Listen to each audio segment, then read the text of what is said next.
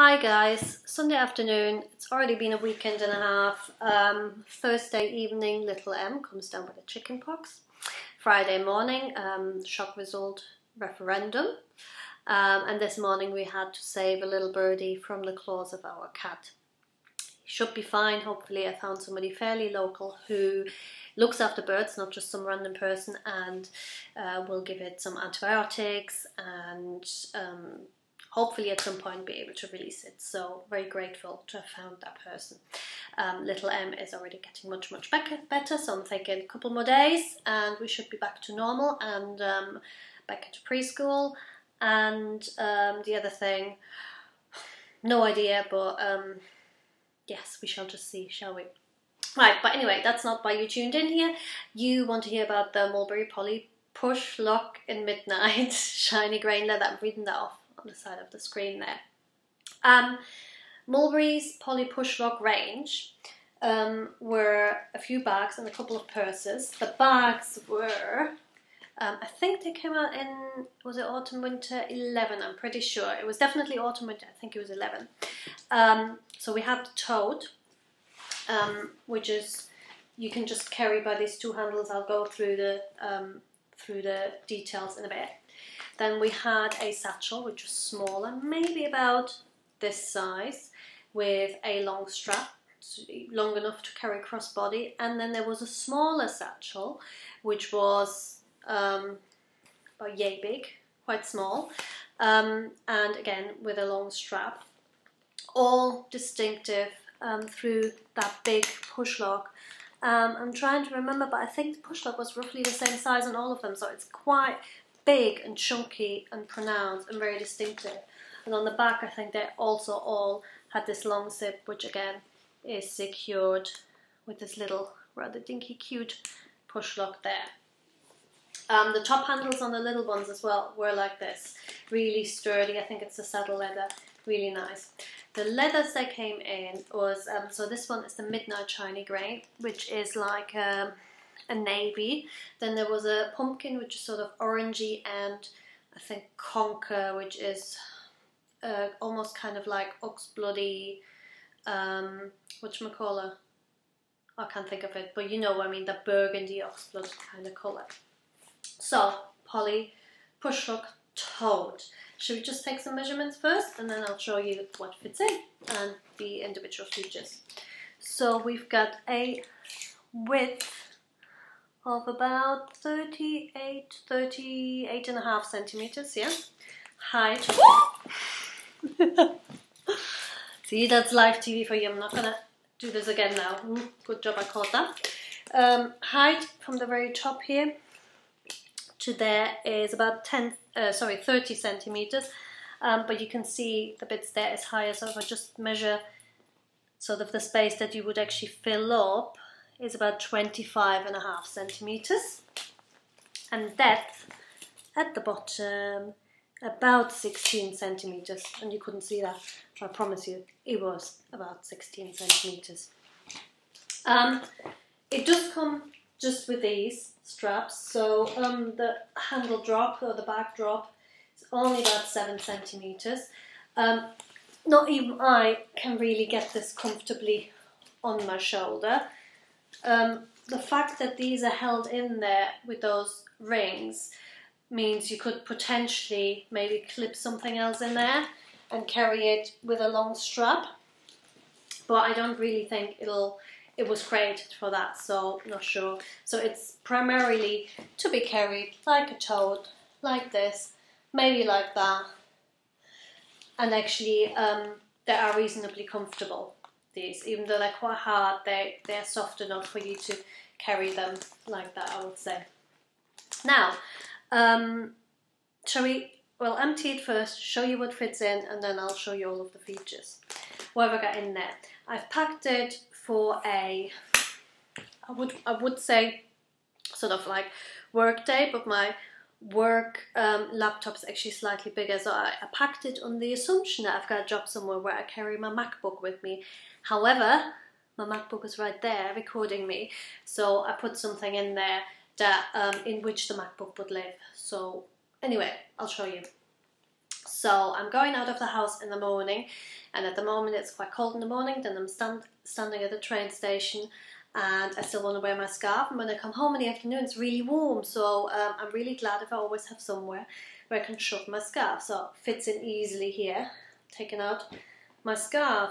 I'm taking out my multi-sip, my Mulberry multi-sip pouch in which I have some paperwork I need to sort out. Um, a couple of pen things, so refills for my pens and stuff. A couple of tampons, tablets, lip balm. And I don't know whether there's anything in here. No, there's nothing in there. Oh, and my inhalers. Both of my inhalers are in there.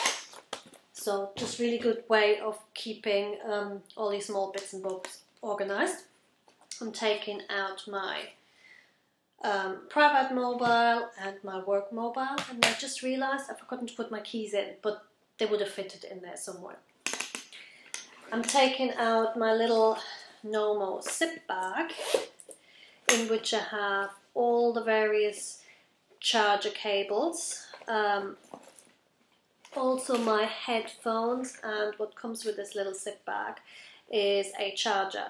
If um, I'm between meetings and I don't have my laptop with me and I need to urgently charge one of my phones, I can do that with that. It's really, really good. Or when I'm going back on the train, um, I'm not, I don't have a dead device on me. I can just recharge it. So really, really handy for all of that. And this is actually what I carry around with me quite often from meeting to meeting. I've got some change in there as well.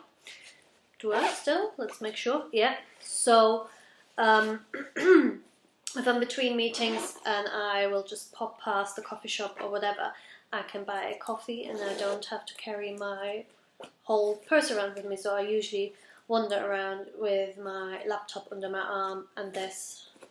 There we go. Then I've got my purse, which is my Mulberry French purse in oak, which is getting really nice um. There we go.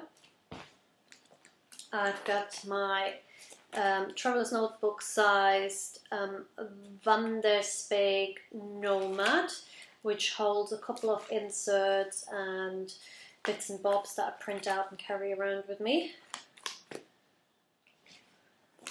I have got my um, Naked Cow um, traveler's notebook in was that personal size, passport size? I don't know. But these inserts are the field note size from Clairefontaine, um, where I do all my sort of private to do lists and things like that. My bullet journal essentially, and there's a pen attached to that as well. Coleto.